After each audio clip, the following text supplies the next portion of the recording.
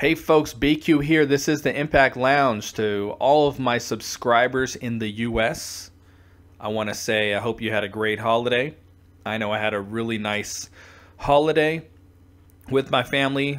My wife and kids came into town where I'm where I'm at here in Texas right now doing training and my daughter lives a few hours south so I was able to have her up here. So really special time for me. I hope everyone in the US had a good Thanksgiving holiday. So I was sitting around today thinking about what kind of content I wanted to add to the channel after taking a few day break. I was scrolling through Facebook today and I saw that for Cyber Monday they were pushing the following DVDs, citing them as cornerstones of of TNA.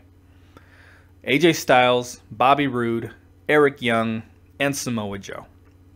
Now, first of all, they have all the right in the world to put out these DVDs as they are a part of the library and they all these wrestlers spent years in the company.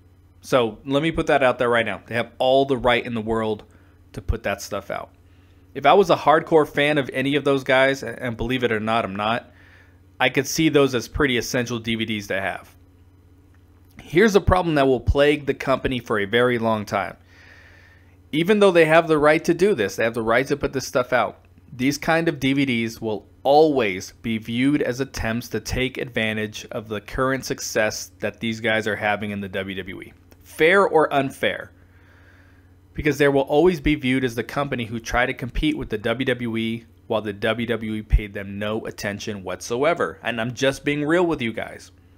Now, with all this being said, I can see that it's difficult to release DVDs based around certain stars because the Impact product is one day a week, two pay per views a year. Now, yes, in the past there were more pay per views, but as of late, we're, we're talking recent memory. That's how it's been two hours of TV a week and two pay per views a year. And you can't even use one night onlys and Xplosion because it's obvious that that's like filler material. You know, that's not something that they that they take serious in any way whatsoever. If they did a little bit, you, could probably use that as well. And I can see it also being difficult because with a lot of wrestlers having such short runs in the company, I mean, you have to be part of the company for several years to to uh, put together, you know, a library of, of greatest matches. But I have to think over the last, you know, several months, they could have done something to, to chronicleize the, I don't know if that's a word, the EC3 heel run not you know the first one, the big, you know Dixie Carter's nephew, Ethan Carter the third, you know everything up until the double turn with Hardy. They could have put together a fairly decent DVD of the Wolves, um, Abyss, James Storm.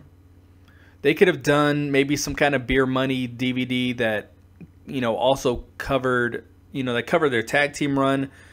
Um, you know, coming uh, and cover their singles run and then coming back together again. There's a few things that they could have done, but the problem is they don't have a no compete clause where they can put together these kind of projects as soon as someone leaves the company. So by the time they put it together, it seems like they're just trying to take advantage of the new kind of momentum that they have at the WWE. You they can't do a Hardy's one at this point. That's completely out the window. The only legit they could DVD they could really put together without taking shit for it is probably a Gail Kim DVD. Um, and they could put a James Storm one together, but it just depends on the timing. I fully expect him to end up in NXT. I, I really do. I think a lot of people do. But if you wait for that to happen and then release it, it's a bad look. It's something they got to jump on like immediately. And I don't know how I don't know how long it takes them to put together a DVD and compile the list of matches and everything. I have no idea whatsoever. But it's something they got to jump on. And again, Abyss is one that they could probably put together. And uh, Kurt Angle was one that should have been done. And uh, if there is a Kurt Angle one, it's completely escaping me. But I, I really don't think that there is. Um, someone can correct me in the comments if that's the case.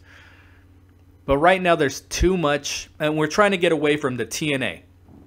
I, I keep telling people this isn't TNA anymore. We to, to us it is, but it's really not. A lot of the wrestlers are gone, and I know there's still the Impact Zone in Orlando and the six sided ring. There's a lot of elements uh, still there, but it's not TNA anymore. It's Impact, and the company views it as a complete, I should say, the owners view it as a completely different product than TNA.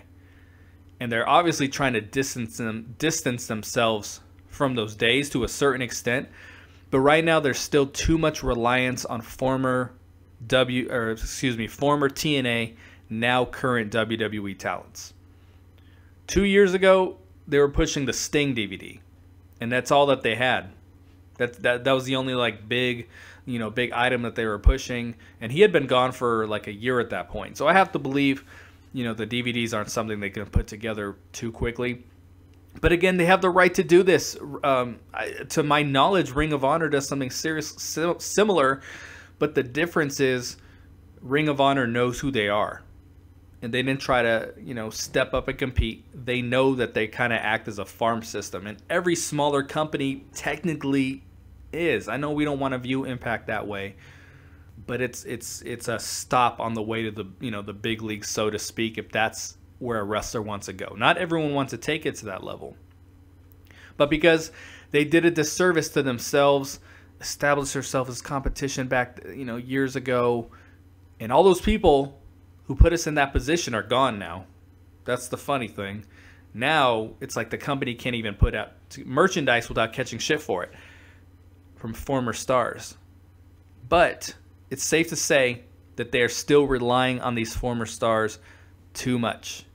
It's marketing, folks.